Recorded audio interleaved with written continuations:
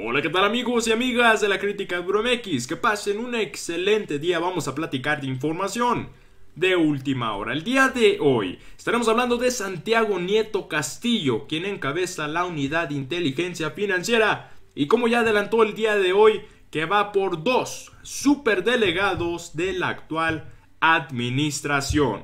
Como ustedes saben, estos superdelegados fueron desplegados en distintas entidades de la República para cuidarle las manos a los gobernadores pristas, panistas, de Movimiento Ciudadano y demás. Estos gobernadores, como sabemos, son bastante corruptos. Los superdelegados iban a cumplir la función de cuidarle las manos y que por supuesto el presupuesto del erario público no fuese malgastado. Desafortunadamente hubo algunos superdelegados que son sumamente corruptos que los están denunciando y que ya Santiago Nieto los está investigando. Son dos. Vamos a ver los detalles el día de hoy, información de última hora que comparte Santiago Nieto. Quédese con nosotros, siéntese, acomódese y relájese, estoy seguro que esa información te va a interesar.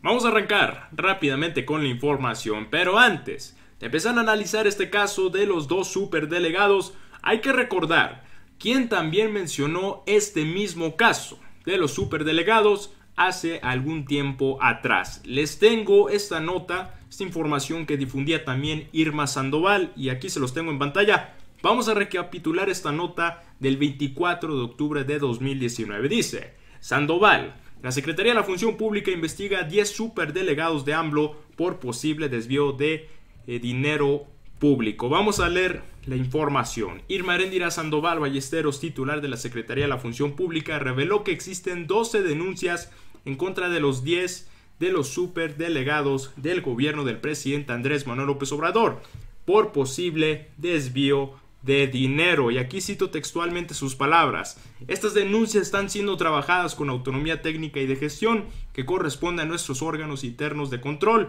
Las más importantes han sido asumidas por mí y por los órganos internos de control.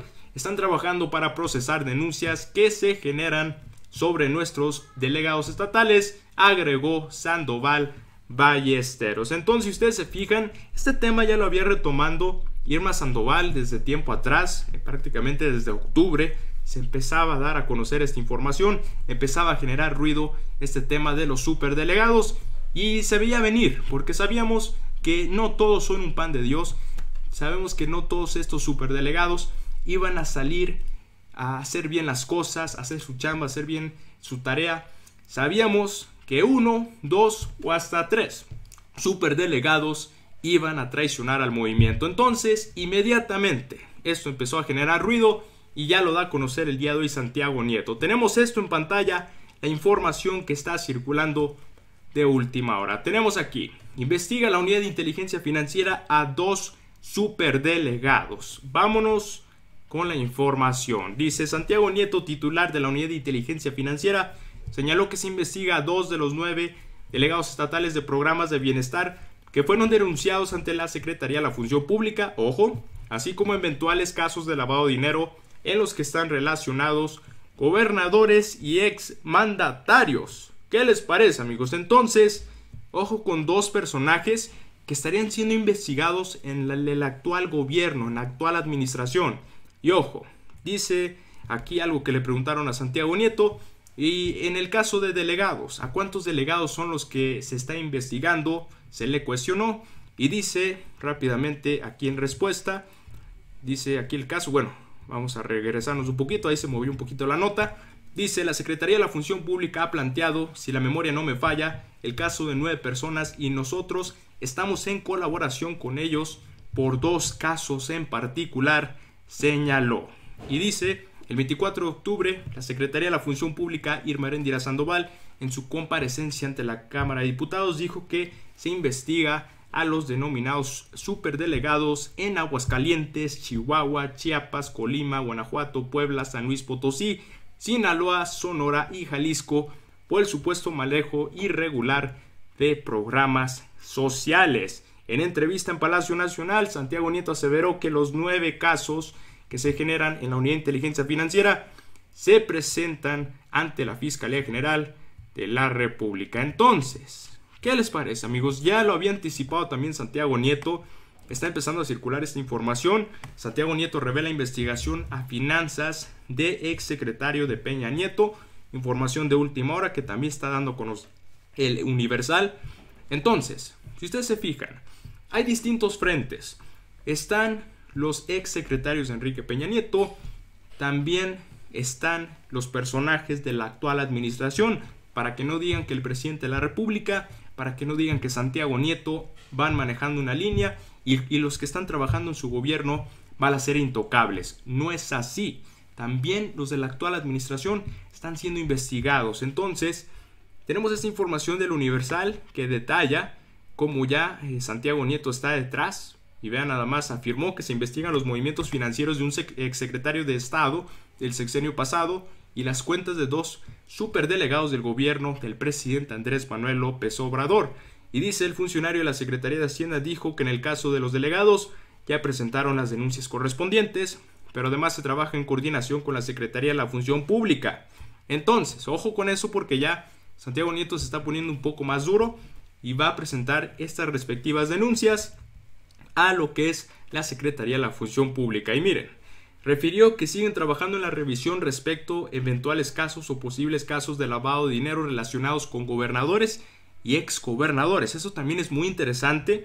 Sabemos cómo son los tremendos corruptazos, estos gobernadores de nuestro país. Hemos visto distintos casos, el caso Javier Duarte, César Borge, eh, César Duarte, hemos visto muchísimos casos y hemos visto a muchos gobernadores que son simple y sencillamente corruptos. Entonces, ¿qué es lo que señala finalmente aquí? Señaló que a la par del caso de Gerardo Ruiz Esparza, exsecretario de Comunicaciones y Transportes, respecto a los manejos que hubo sobre los contratos otorgados a OHL, hay otros altos funcionarios bajo la lupa. Ya lo había mencionado también Santiago Nieto, esta investigación que se está realizando en torno a Ruiz Esparza, que generó también bastante ruido, pero ahí vemos poco a poco cómo va avanzando la unidad de inteligencia financiera. Les digo, Santiago Nieto no se está tentando el corazón, es un funcionario clave en la actual administración del presidente Andrés Manuel López Obrador.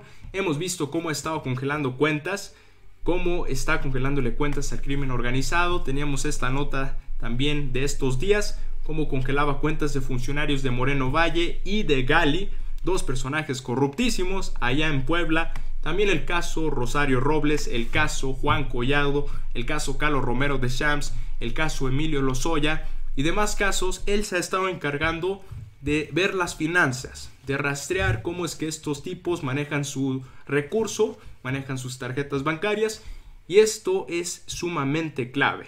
Cómo Santiago Nieto ha ido viendo poco a poco lo que son estos movimientos financieros. Es muy importante la labor que tiene Santiago Nieto y es por ello que yo le felicito también por no atentarse el corazón y hacer bien las cosas. ¿Qué hubiera pasado en tiempos de Enrique Peña Nieto?